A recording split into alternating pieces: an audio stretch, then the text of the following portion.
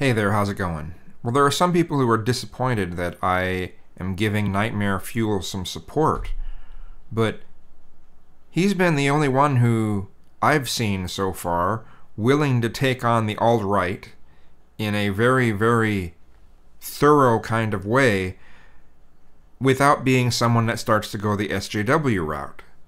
You know, I really appreciate that. There isn't anyone that I agree 100% with.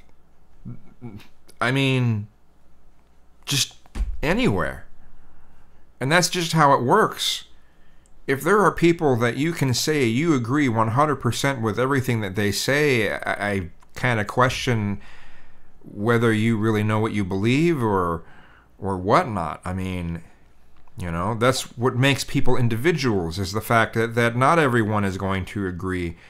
Um, you know, and to me, it's scary when there are people that will latch on to an ideology and just go hundred percent on on this on a on a movement on a on a, you know on an ideology. It just it, I go, wow, that's messed. It's just messed. How can you be that uh, much of a sheep? You know.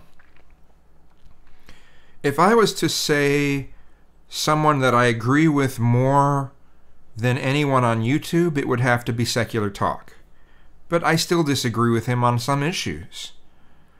Um, especially gun control. Oh, I really disagree with, with Secular Talk on gun control. Um, you know, I disagree with a lot of people on gun control. I am I'm a right winger when it comes to gun control. You know?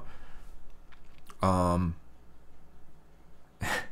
you know, some people would consider me a right winger on abortion, but I believe strongly that someone should have the right to remove anything growing inside them, whether or not it's another human being or not. And until we have the technology to remove a, babe, uh, a baby that's uh, premature, you know, until we have the ability to remove a fetus from mother without killing it, you know, then we have to put up with abortion. I, personally think abortion is murder, but whatever, you know, it's something that's necessary right now until we have the technology to remove, to to put a, a fetus into an artificial womb. And once we have that, then we can start making, you know, most abortions illegal. That's my view on that. It clashes with a lot of people. Of course, most people don't even don't even take a stance about, well, this is how I believe right now, while we have the technology we have right now. Most people don't take it a step further than that. People say, oh, you're saying sci fi. And I'm like, this isn't so sci fi. They're already doing that with sheep. They're they're they've been able to create an artificial womb for sheep.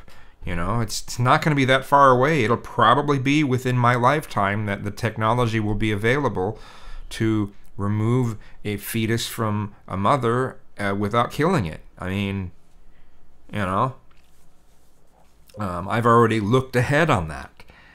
You know, I'd rather try to look ahead. I try to look ahead on a lot of things. It's why I sometimes take some of the stances I do. So again, you know, there's there's nobody that I agree 100% with. Um, I've just never run across that before. And you know what? That's a good thing. If we all believed the same way, it would be a damn boring place.